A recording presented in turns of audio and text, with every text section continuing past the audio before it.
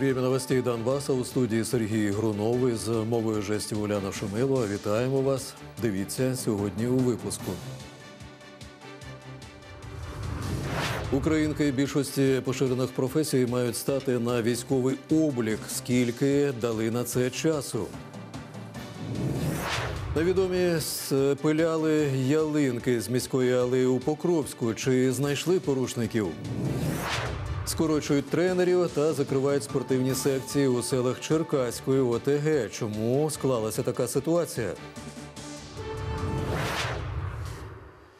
Автівки заносить, а пішоходи ковзають. На Донбасі вирує негода. Дощ і мороз вдарили по Маріуполю сьогодні зранку. Дороги і тротуари вкрилися крижаною кіркою. І з наслідками таких умов комунальники борються і досі. У деяких випадках навіть е, знадобилася допомога рятувальників. Тож чи курсує транспорт за графіком? Давайте послухаємо. есть небольшое отклонение от расписания движения э, для того, чтобы немножко снизить скорость движения и безопасно осуществлять э, перевозки наших пассажиров. Синоптики ж попереджають, така погода протримається на Донбасі до кінця тижня. Стати на військовий облік жінкам більшості поширених спеціальностей відповідний наказ Міноборони набув чинності у переліку, зокрема, програмістки, лікарки, юристки, журналістки, музикантки, соцпрацівниці, бухгалтерки. І крім того, розробляють алгоритм, коли жінки зможуть зареєструватися у військоматах дистанційно або онлайн. Скільки часу дали, аби це зробити, як каратимуть за невиконання вимог, Максим Чумак розбирався. Карині скоро виповниться 18. Близько року вона займається у театрі юного актора. Ставати на облік до військомату не боїться. Я давно еще думала, что я пойду в армию служить, поэтому мне это только на руку. Это равноправие между мужчиной и женщиной. Такі зміни через нещодавно затверджений наказ Міноборони. У ньому розширили список спеціальностей, за якими жінкам від 18 до 60 років слід стати на військовий облік. Серед них, зокрема, й акторки. Та от що робити керівникам колективів, поки не зрозуміло. Особенно в театре, когда на э, э, актера уже э, сделанный репертуар на год, и если его будут отрывать от репертуара, м, понятно, что это будет э, м, ну, сказываться на творческом процессе. Всього в переліку більше сотні професій, і у кожної з них є свій армійський відповідник. Наприклад, юристкам доручать діловодство, музиканток та акторок задіють у військових оркестрах та ансамблях, а програмістки відповідатимуть за захист інформації та адмініструватимуть роботу комп'ютерних систем. І хоча у Міноборони роздумують над тим, щоб прибрати деякі спеціальності зі списку, моя колега Катерина жартує, усе одно потрапить на облік, бо має декілька дипломів за різними фахами. У випадку, наприклад, повномасштабних е, якихось військових дій, це в принципі нормальна практика. У багатьох країнах е, по типу Ізраїлю, наприклад, е, так і діють. Просто там військовозобов'язані жінки також вони також служать в армії, і це в принципі нормально. Однак військовий облік та військова служба різні речі, заспокоюють юристи. Тож екстрені збори жінкам не загрожують. Вона засвідчує просто той факт, що її професія входить до переліку професій, затверджених наказом Кабінету міністрів. За станом здоров'я ця особа може бути мобілізована. У сухопутці обіцяють, процедура буде така ж, як у чоловіків. До військкомату за приписом потрібно надати копію паспорта, ідентифікаційного коду, документа про освіту, довідки з місця роботи та свідоцтв про одруження й народження дітей. Після цього пройти медкомісію та отримати обліковий документ. Не стоїть ніякої задачі максимально охопити цим обліком в негайно в найкоротший термін. Все буде сплановано, все буде розроблено і до кінця наступного року ми цю роботу плануємо завершити. Контролювати процес зобов'язані роботодавці. В іншому випадку штрафи від 5100 до 8500 гривень. З працівниці також стягнуть від 850 до 1700 гривень. Проте карати за ухилення від постановки на облік почнуть лише з 2023 року. Максим Чумак, Володимир Безоблюков, телеканал Донбас. Тим часом електронна петиція про скасування військового обліку для жінок е, набрала вже понад 30 тисяч підписів. Та для того, аби на неї звернули увагу, потрібно лише 25 тисяч. Відповідне звернення опублікували на офіційному інтернет-порталі президента України. Його авторка обурюється тим, що перед ухваленням постанови не було суспільного обговорення та досі немає повноцінних роз'яснень щодо механізму реалізації програми. І нагадаємо, після набрання необхідної кількості голосів офіс гаранта повинен е, повідомити про початок розгляду протягом трьох робочих днів, і на це за законом дається ще 10, поки реакції на документ немає. Спиляли під корінь. Невідомі е, вкрали ялинки із міської алеї у Покровську. На продаж чи додому з'ясовують інспектори. Крадіїв ще шукають. Проте вийти на їхній слід допоможе одна зачіпка, говорять фахівці. Яка саме дивіться. Спиляли під корінь. Це все, що залишилося від ялинок за ніч на одній із міських алей у Покровську. пилкою, бачите? Як та чим працювали порушники, з'ясували інспектори муніципальної служби, підрахували невідомі вкрали два дерева. Камера зафіксувала двох чоловіків. Один був у корічневій або червоній курці, другий був темна куртка е, з пушком, капюшон. Відео надали мешканці сусіднього будинку. Це одна із зачіпок. Зараз інспектори з'ясовують особу чоловіків та куди вони пішли зі спиляними ялинками. Значить, вони направились по вулиці Парковій. Молоді дерева містяни висадили восени і тому стурбовані вчинком порушників бессовестные. О детях не подумали, о внуках и о людях, которые садили эти елочки, старались, ухаживали за ними. На місці, де спиляли ялинки, часто бавляться діти, тож містяни обурені діями незнайомців. На продажу больше всего, ну это больше всего, ну, как люди ненормальные, или, которые любят выпить. штраф отработки, чтобы э, возобновлялось это за их счет. Посеред алеї густонаселений мікрорайон, тож комунальники шукають свідків та готують звернення до поліції. Олена Успенська, Володимир Краснов, телеканал Донбас. Правоохоронці шукають і тих, хто пошкодив новорічні ядки в одному із парків Маріуполя. Поліцейські отримали звернення. Нині триває перевірка. Нагадаємо, хтось намагався зламати будиночки на святковому ярмарку. Підприємці помітили це в різдвяний ранок, коли прийшли на роботу. До поліції надійшло повідомлення про те, що у парку Гурова невідома особа пошкодила замок е, одного з фудкортів та здійснила крадіжку колонки. Даний факт внесено до єдиного реєстру заяв та звернень громадян, та поліція встановлює всі обставини цієї події. Триває перевірка. Скорочують тренерів та закривають спортивні секції. Все це відбувається у Черкаській ОТГ. Діти не знають, куди себе подіти у вільний час. Батьки обурюються, як так, а чиновники лише розводять руками. Марія Сергієва спробувала з'ясувати, чому маленькі спортсмени лишилися без спорту. Вот наш тренер Леонид Александрович. Замість футбольних тренувань учні Олександрівської школи нині лише згадують свої останні заняття. Ми грали, виходить, 3 на 3 і було ну, хороші е, ну, почуття. Ми грали дуже гарно. І потім під кінець тренування тренер нам сказав, що більше тренувань не буде. Мені стало різко грустно. До цього діти займались у секції три роки. Мені давало це е, ну, відчуття круті, що е, ну, з тренером їздили, забивали голи, 5 медалей аж. Спортсмени представляли команду і за межами громади. Я пам'ятаю, як ми в Цвятогорській грали, наша команда. Я тоді забив 4 гола. А мені хотілося б, щоб вернути тренер, тому що він мене вчив 3 роки.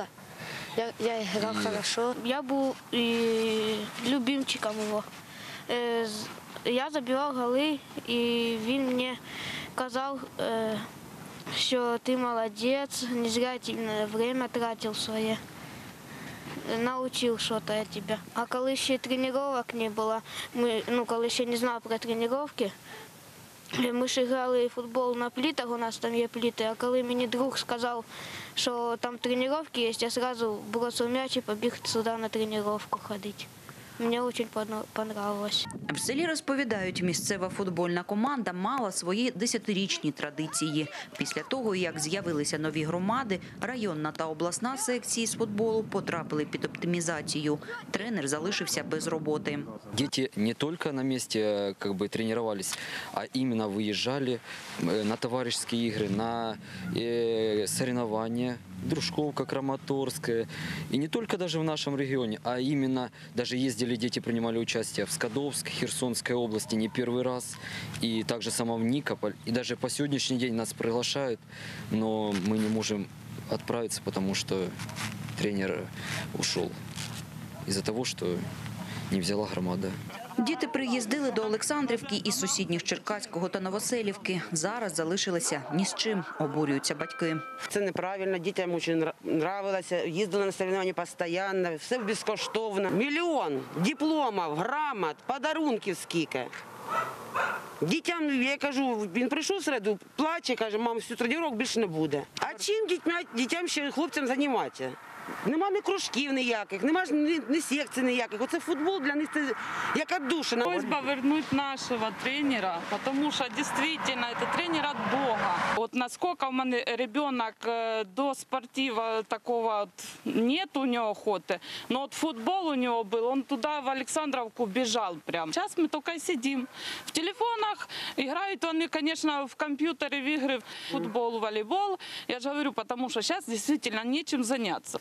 Чиновники кажуть, грошей, аби утримувати тренерів за окремими секціями, нині в громаді немає, бо немає і власної спортивної школи.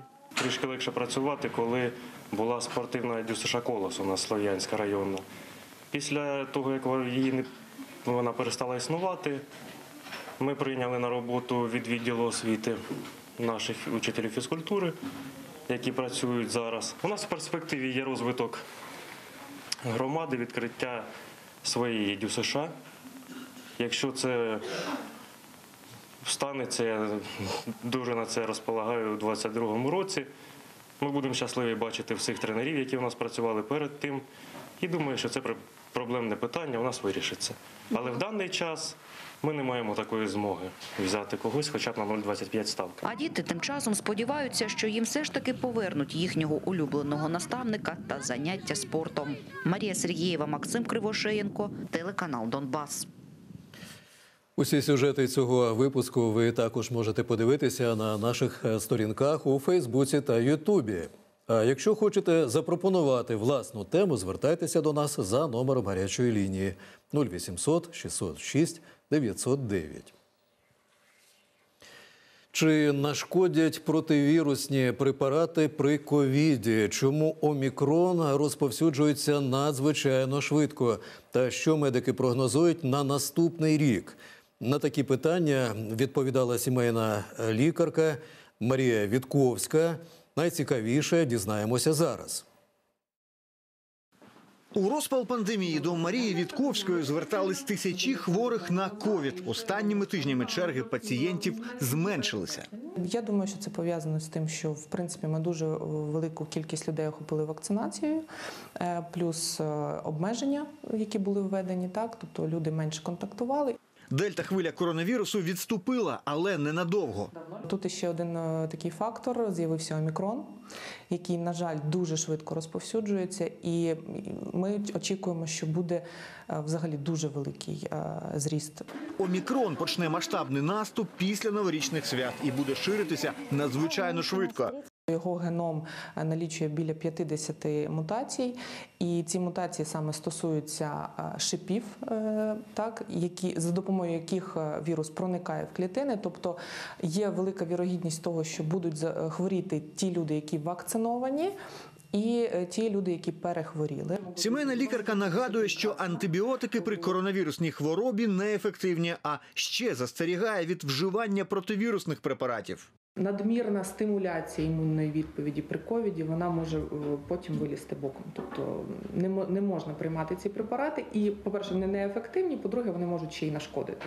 Інформацією, яка допоможе зберегти здоров'я, лікарка ділиться, долучившись до онлайн-проєкту фонду Ріната Ахметова «Запитай у лікаря».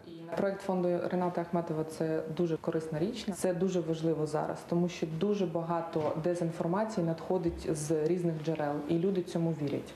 Ефіри із провідними медиками країни фонд Ріната Ахметова організовує щотижня. Вже відбулося 57 трансляцій. Загальне охоплення проєкту на диджитал-майданчиках – 21 мільйон. Спроси у доктора часть большого системного проекта «Борьба с ковид в Украине». Учредитель фонда Ренат Ахметов по личной инициативе выделил на борьбу с коронавирусом порядка полмиллиарда гривен. За два роки пандемії на ковід уже перехворіли понад 3,5 мільйони українців. А вже 2022 може стати роком перемоги над коронавірусом. Прогнозують у Всесвітній організації охорони здоров'я. Вітчизняна експертка з такою думкою погоджується. Вже дуже багато людей перехворіли і перехворіли навіть не знаючи про це. І це нас захистить від подальшого розповсюдження. І можливо на цьому закінчиться вже ця пандемія. Ростислав Сисоєв, Володимир Конопля для телеканалу Донбас. Купити якісні фрукти до святкового столу. Полиці магазинів та ринків вже рясніють заморськими плодами. У попиті цитрусові зауважують продавці. Наша Олена Успенська пройшлася торговельними рядами разом із доктором сільськогосподарських наук і з'ясувала, як обрати свіжий товар і при цьому не переплатити. Інна щойно з ринку купила мандарини, солодкі визначає за виглядом. плотная, она не имеет никаких дефектов, однотонного цвета яркого и она однотонная вот такая, имеет хорошую плотную форму. Это, это значит, что она спелая и в нормальных условиях их сюда довезли. Пані Катерина шукає плоди з насиченим кольором. больше оранжевые. Мне кажется, они слаще. На праздники побольше выбираю вот такие вот большие. Чтоб смотрелось вроде как богато, что ли. За цитрусовими пішли і ми не одні, а з доктором сільськогосподарських наук. максимально насыщенный цветом, то есть он максимально спелый. Если он с зеленцой, как вот этот, например, ну, этот будет более кислее, но этот пролежит дольше, дольше сохранится. Олександр Вініков дає поради, як не придбати нашпиговані плоди. На липкость. Если липкий плод, значит тут какой-то присутствует химический реагент. І додає, цвіль, чорні плями то теж привід відмовитися від покупки. Любые видимые повреждения, э, либо это будет удар, либо это будет э, какая-то болезнь, заражение какой-то грибковой болезнью. Это все потенциальная опасность для человека, для его здоровья. Банани і мандарини від 34 гривень, апельсини по 40, цитрусові везуть здебільшого з Грузії, Туреччини, Греції. Цитрусовая цена зависит от страны происхождения. Чем дальше, тем она дороже. Выбрать мандаринчику, чтобы сладенькая была, она должна быть слегка мягенькая, блестеть. А ось лимони радять обирати пружні та насичено жовті. Такі довше зберігаються та ароматніші. Стиглий та солодкий апельсин має виражену верхівку, каже пані Майя. Если вот такой ест, она сладкий. Да. Это всегда так была. Важлива й шкірка, зауважує продавчиня. Томатный, больше она сладче. Когда она мягкая, видите, она кажется такой толстой шкуркой, а чистится, смотрите как. А підсохла або розм'якла шкірка, то є ознака зіпсованого плоду. До свят беруть ківі, заморський фрукт по 45. Если чуть-чуть мягкое, оно сладкое. А если твердоватое, оно еще, ну как, зеленоватое. Немножко полежало, и оно мягче будет и сладче. Ціни на хурму стартують від 35 гривень. Все залежить від стиглості плодів, сорту та країни походження. Олена Успенська, Володимир Краснов, телеканал Донбас. Нагородили за креатив та щирість у Маріупольському центрі дитячої та юнацької творчості Західний. Відзначили переможців проєктів Лист Святому Миколаю та новорічна еко-іграшка від зеленого центру Метінвест. Які призи отримали учасники і чим вразили організаторів? Дивіться далі. Десятирічна Олександра навчається у четвертій школі Маріуполя. Вона переможниця конкурсу «Еко-іграшка». Розповідає, захоплюється пап'є-маше, тож і змайструвати новорічну прикрасу було цікаво та зовсім не важко. Чтобы сделать игрушку, я взяла обычный шарик, обмазала его кремом, а потом обмотала нитками. Ну, при этом оставила небольшое отверстие. Потом я второй слой клеила салфетками. Потом снова нитками и снова салфетками. Потом я лопнула шарик и вырезала отверстие. А це Софія Аджи, п'ятикласниця 66-ї школи. Їй також 10 років. Про свої добрі справи вона вирішила написати у листі Святому Миколаю і теж виграла конкурс. Я ухаживала за природой. С дедушкой э, делала маленькие дырочки в э, водойме э, в нашем селе, э, чтобы животные могли пить воду. Э, С дядей делала кормушки для птиц. Цьогоріч новорічні еко-іграшки майстрували майже 100 дітей. Головним правилом було використовувати натуральні матеріали. А ось Святому Миколаю адресували близько 60 листів. Много ребят писало, что не подкармливают птичек, что не высаживают деревья, что сортируют мусор. То есть некоторые письма были ну, такие аж до мурашек. Вот мы с членами жюри читали, всегда очень сложно определить победителя, потому что работы действительно достойные. Написаны даже на два листа были такие. Вот перечитали абсолютно всем. Конкурси Лист Святому Миколаю та новорічна еко-іграшка проходять у межах екологічної програми Зелений паросток за підтримки зеленого центру Метинвест кожного грудня. Проте такі проєкти не тільки про свята, а й про життєву позицію. Ділиться Вікторія Кошманова. Діти навчаються активній життєвій позиції. Вони приймають відповідальність на себе і розуміють, що якщо ти е, бажаєш жити краще, якщо ти е, піклуєшся про навколишнє середовище, то ти повинен бути відповідальний і за тварину, і за рослину, і за все, що е, відбувається навколо тебе. 30 переможцям конкурсу Лист Святому Миколаю від зеленого центру Метинвест подарували іграшкових миколайчиків, а 30 майстрів найкращих еко-іграшок отримали м'яких тигренят. Також школярам вручили солодкі призи. Наталя Мнециканян, Сергій Чакригін, телеканал Донбас. А династії металургів Маріупольського комбінату Азовсталь групи «Метедвест» привітали із прийдешніми святами. Для дорослих організатори влаштували новорічну вікторину, а для дітей танцювальні конкурси. Як все відбувалося, подробиці дивіться далі. Вони мають понад 400 років загального стажу на підприємстві. Робітничі династії комбінату Азовсталь групи Метинвест прощаються зі старим роком. В этом году это уже третья встреча династии комбината «Азовсталь». Очень приятно, м, очень весело и подарки. м, Это хорошо, приветствуются династии на комбинате, это здорово. Малеча змагається у конкурсах за солодкі призи, а старші відповідають на питання новорічного брейн-рингу. Сергій Полухін майже 30 років працював у рейкобалковому цеху. Зараз чоловік на пенсії, тож насолоджується сімейним святом. У на сегодняшний день уже 10 внуков. Готовим подарки детям, внукам. Ну и, соответственно, они все стараются нас посетить. Правда, в одно время собраться сложно, потому что многие работают на комбинате, график посменный. Поэтому очень редко, когда мы все собираемся вместе. Робітничі династії це рушійна сила промисловості, упевнений директор з персоналу та адміністрації комбінату Азовсталь Іван Голтвенко. Благодаря трудовым династиям строится то величие и то, а, та история металлургических предприятий Украины. Вот как мы сегодня наблюдали, собрались трудовые династии комбината «Азовсталь». Это династия Полухиных, другие династии, у которых трудовой стаж более 200 или 300 лет суммарно вместе. Это действительно большой опыт. Також привітання з Новим роком отримали діти металургів і молодіжна організація комбінату. Максим Чумак, Артем Карабецький, телеканал Донбас. І на цьому наш випуск завершується. Дякуємо, що ви були з нами. На все добре.